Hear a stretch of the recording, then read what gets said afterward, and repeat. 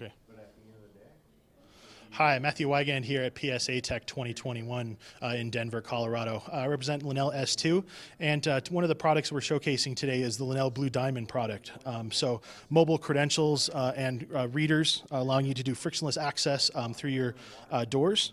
we also added location tracking now as part of the latest release of Blue Diamond Mobile, allowing you to do things like contact tracing based on the location of the people in those buildings. You can find out more information by visiting www.lenels2.com. Thanks and have a great day.